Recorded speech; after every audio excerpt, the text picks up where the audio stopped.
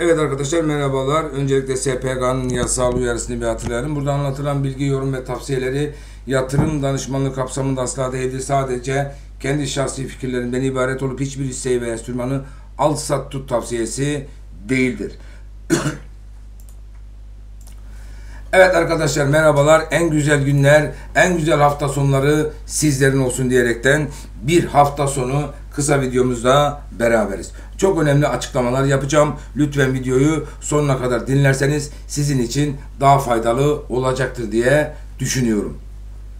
Şimdi arkadaşlar e, biliyorsunuz geçen hafta özellikle e, endeksimiz hafta başından itibaren 10.600 e, seviyesinin üzerinde kapanış yapmıştık geçen hafta pazartesinden ve en yüksek gördüğümüz seviyede yuvarlak söylersek 11.000 200 seviyesine kadar bir hareket yaptık ve e, çarşambadan itibaren de yükseldikten sonra önümüzdeki hafta çarşamba, perşembe ve cuma gününden itibaren e, artık geri geri endeksimizi geriye çekilmiş yaparaktan 6700 seviyesi bir bakalım nereye kadar e, kapattık 6676 seviyesinden bir kapanış yaparaktan haftayı tamamlamıştık.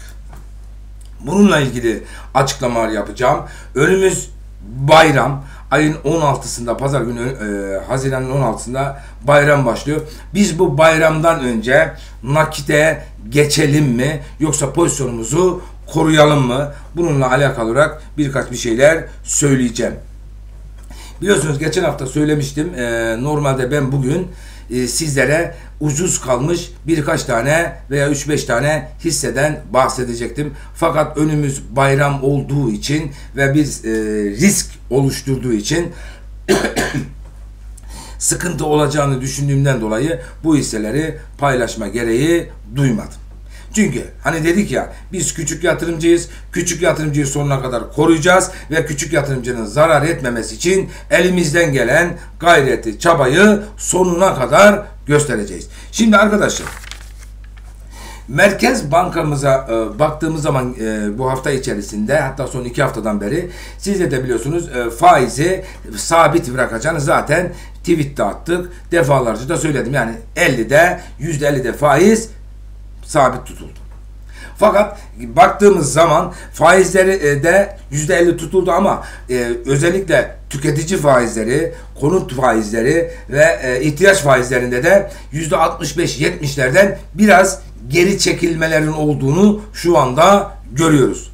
Şu anda biz bunu görüyoruz. Merkez Bankamızın e, piyasadan e, dolar aldığından dolayı Merkez Bankamızın da rezervlerinin 139 milyar civarında oluştuğu basına yansıdı. Zaten açıklamalarda da Merkez Bankamızın toplam rezervinin 139 milyar dolar civarında olduğu zaten söylendi. Bununla birlikte yabancı girişleri bizim piyasaya gerçekten özellikle son 4 haftada 5,5 milyar dolarlık tahvil aldıklarını görüyoruz. Son 5,5 e, son 4 haftada yani son 4 hafta, son 1 ayda.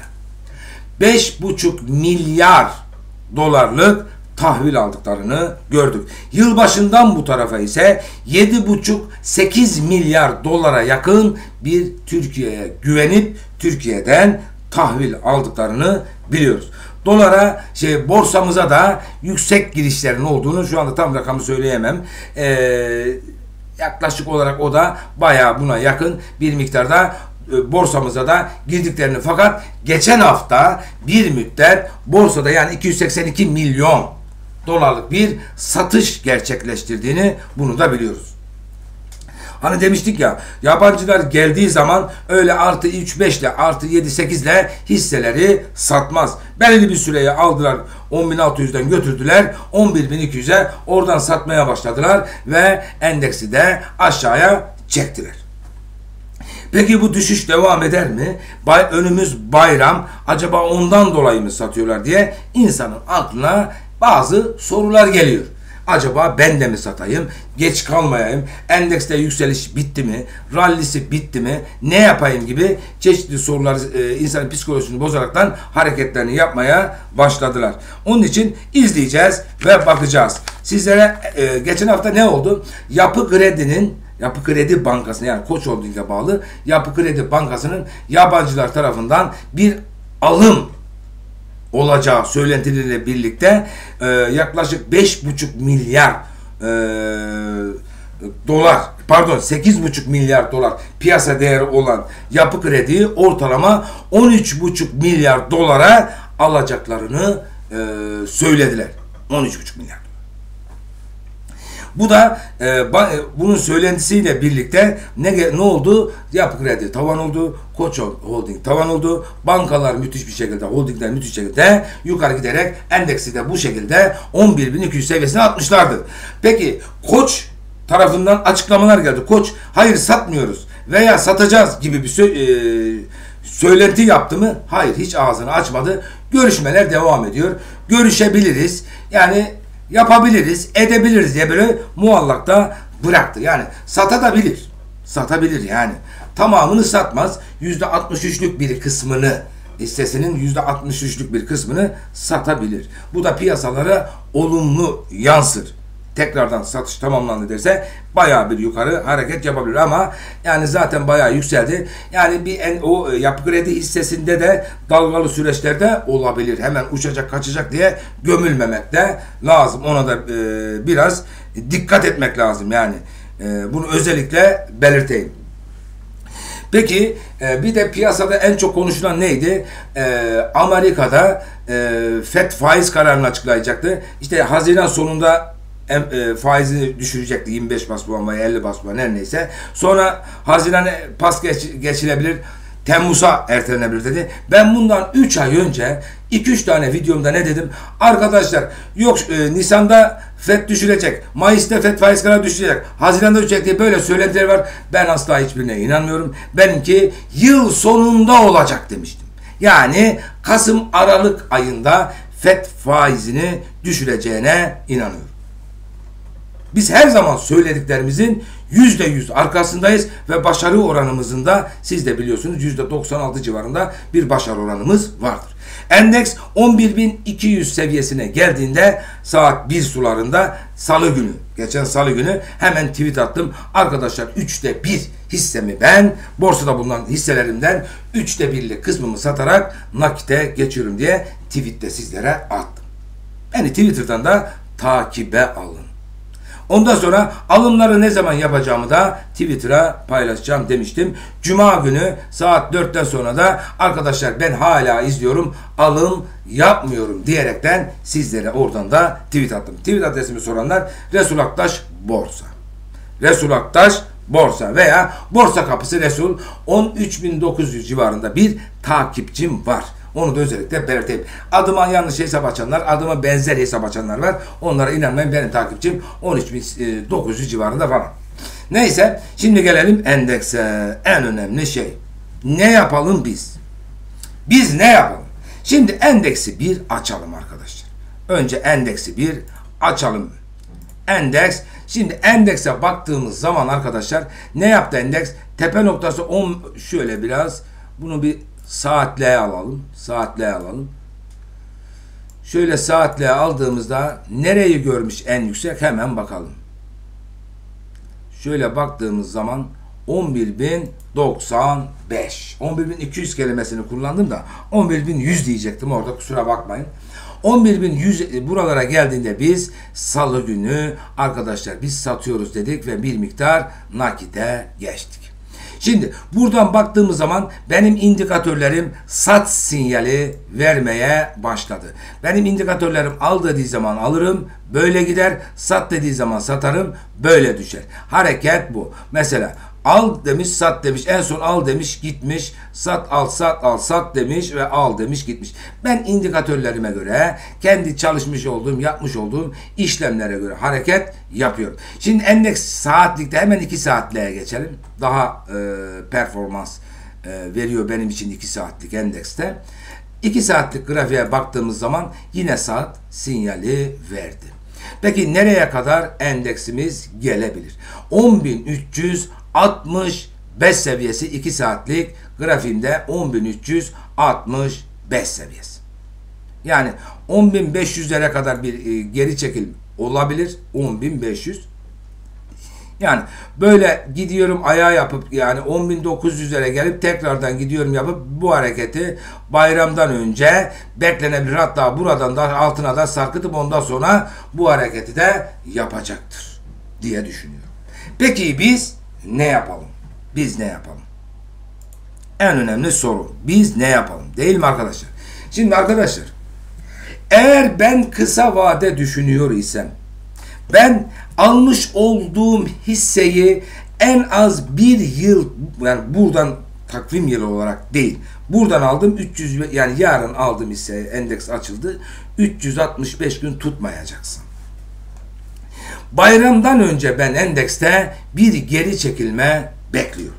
Bir geri çekilme bekliyorum. Yani e, e, baktığım zaman 10.600 kırıldı mı 10.500 ve daha akıbetinde de aşağıda 10.300 10.350 aralığı ve tutunamazsa 10.044 seviyesine kadar 10.000 10.060 seviyesine kadar da bir geri çekilme olabilir. Peki ben ne yapacağım? Bu kısa dönemde yani iki haftalık süreçte ben ne yapabilirim? Yükselişleri satış fırsatı olarak değerlendirebilirsiniz. Yükselişler satış fırsatı. Zararına asla bir hisseyi vermiyoruz. Zararına hisse verilmez. Eninde sonunda sağlam ve güçlü hissedeysen kesinlikle yön yukarı olacaktır. Ama ben bayramdan önce yükselişlerin olacağını biliyorum. Pazartesi aşağı yukarı aşağı yukarı yukarı, salı aşağı yukarı yukarı, çarşamba aşağı aşağı. Ondan sonra perşembe yukarı. Yani böyle dalgalı süreçler olacaktır. His özellikle genele yayılmış bir son günlerde son 2-2,5 haftadan belli genele yayılmış bir alış olmadığını borsada görüyoruz. Yani önüme ne gelse alayım nasıl olsa yukarı gidiyor hisseler o şekilde değil. Yani yabancılar girdiği için yabancıların en çok tercih ettiği borsadaki hisseler hep söylüyorum ulaşım, bankacılık, holding ve iletişim sektörü. En çok bu hisselere girdiler. Çıkması kolay. Yarın bir gün bir şey olduğu zaman çıkması çok kolay olacağı için büyük tahtalarda sığ tahtalardan uzak duruyorlar. Büyük tahtalarda hareket ediyorlar.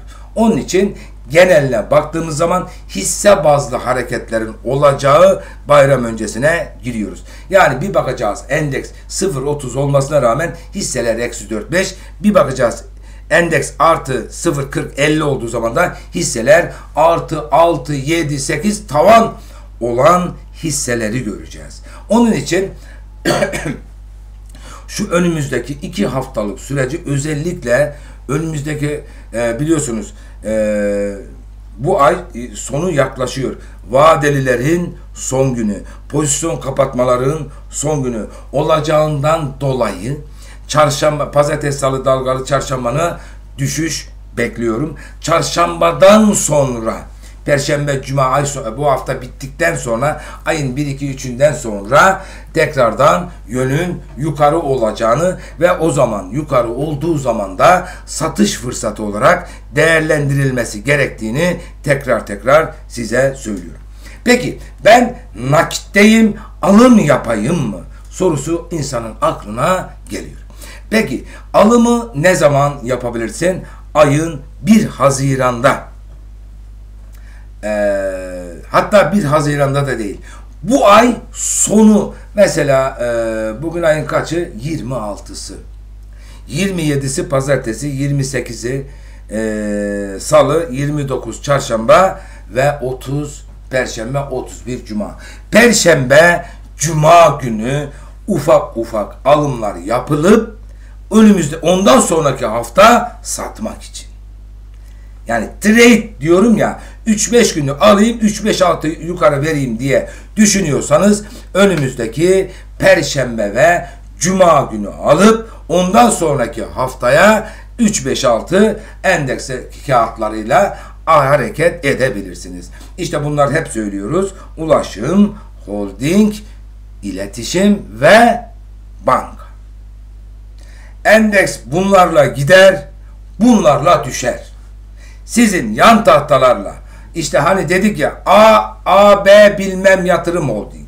Yatırım YGO. B, Y bilmem ne işte e, turizm. B, Y taşımacılık. Abuzettin bilmem ne konut falan filan.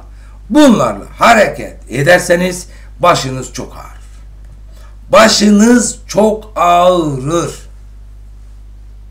Beşiktaş hissesini de çok soran var. Bana o kadar çok yazan var ki arkadaşlar Beşiktaş kupayı aldı. Beklenti bitti. Beklenti bitti. Agresif hareketler olabilir Beşiktaş hissesine çok dikkat edin. Benden uyarması. Agresif artı 10 eksi 10 hareketler yapmaya çok ama çok müsait bir hisse. En çok kim var takasına baktım. Akbank ve Bankov bayağı bir yüklü alım yaptı. Özellikle Ak Yatırım çok fazla mal topladı Beşiktaş'ta. Temkinli ve dikkatli olursanız sevinir. Hisse çok yazıyorsunuz ama ben hisse e, videomu ne zaman e, çekeceğim? E, büyük ihtimal Perşembe veya Cuma günü önümüzdeki şu ortalık bir durulsun, bir sakinleşsin. Ondan sonra o videomu çekeyim. Gerçekten acele edip panik yapmayın. Çünkü neden? Hemen almamız çok kolay. Hemen istediğimiz yerden alırız. Önemli olan o aldığımız hisseyi istediğimiz yerden satabiliyor muyuz? Bizim için en önemli kriter bu olmalı. Biz borsaya gerçek para ile girdik. Para yani kaybediyoruz, para kazanıyoruz. Zararına vereyim mi, kol keseyim mi? Gerçek paranı çöpe atıyorsun. Onun için sağlam hissede kal ki çöpe atmak zorunda kal. Peki ben e, o uzun vade beklemek istiyorum. Bayramdan önce düşse de beni fazla ilgilendirmez. Acaba satsam mı gibi gelen düşünceler. Eğer hani dedim ya bir yıl boyunca ben bu hisseyi tutacaksam satmam. Ama ben hissemi yukarıdan satayım 15-20 gün bir ay içerisinde aşağı aşağıdan tekrar alayım dersen o hareket olabilir. O da ne zaman olabilir? önümüzdeki bu hafta değil, bu önümüzdeki hafta değil de ondan sonraki hafta. Yani bir iki gün düşüş bekliyorum. Perşembe, Cuma'dan sonra yükseliş, ondan sonraki haftada yükseliş ondan sonra düşüş. Yani bu önümüzdeki hafta değil de ondan sonraki hafta içerisinde yükselişler mutlaka bence bence satış fırsatı olarak değerlendirilebilir diye düşünüyorum. Kendinize çok iyi bakın. Kanalıma abone olursanız sevinirim arkadaşlar. Allah'a emanet olun. Hoşçakalın.